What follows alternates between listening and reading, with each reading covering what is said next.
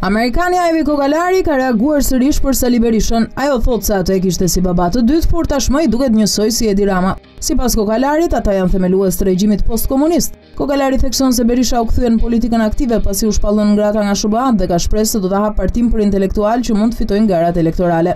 E vetmja gjë që kuptova nga kjo video është që mbas tridhjetë e dy vitesh lojtarët kanë ngelur po ata, Edi Rama dhe Sali Berisha.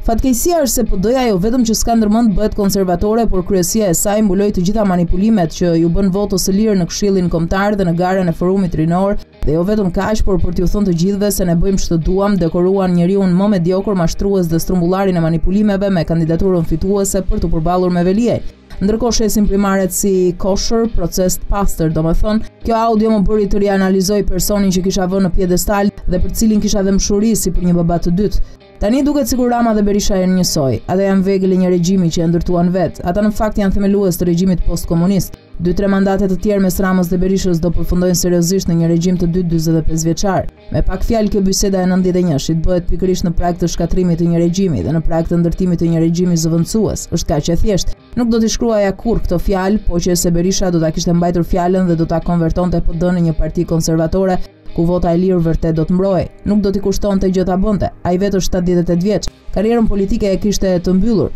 U kthye në betejë, prej damkës së DASH. Ne, të gjithë në krah. Berisha kishte mundësinë të ndërtonte trashëgiminë e tij politike, që do të mbetej në histori duke mundësuar një opozitë të fortë kundër korrupsionit më pervers në Ballkan, atë të Edi Ramës. Thonë se shpresa vdes e fundit dhe unë vazhdoj të shpresoj që Berisha do bëjë një kthim 180 gradë duke hapur partinë dhe duke sjellë rreth vetes intelektualë, sepse vetëm ata mund të fitojnë garat elektorale. Dhe nëse kjo nuk ndodh 2-3 muajt e ardhshëm, një parti e re opozitare është e paevitueshme dhe në terrenin politik të sotshëm, Sinqeriteti dhe integriteti janë të vetmet virtyte që do fitojnë. Njerëzit janë të lodhur me sagën tridhjetë e dy vjeçare. Kur Rama dhe Berisha dramatizojnë opozitarizmin ndaj njëri-tjetrit, në fakt bazuar sërish tek audio, lind pyetja, A është Rama vërtet ideologjikisht socialist? Apo thjesht e kishte kuptuar që PD-në s'ia merrte dot Berishës, kështu që iu vu Nanos? Po ta analizosh pak më thellë, duket sikur beteja nuk është për mbrojtje parimesh, por është thjesht ego pushteti. Ndryshe PD-ja sot realisht do të ishte parti konservatore, përfundon Kokalari.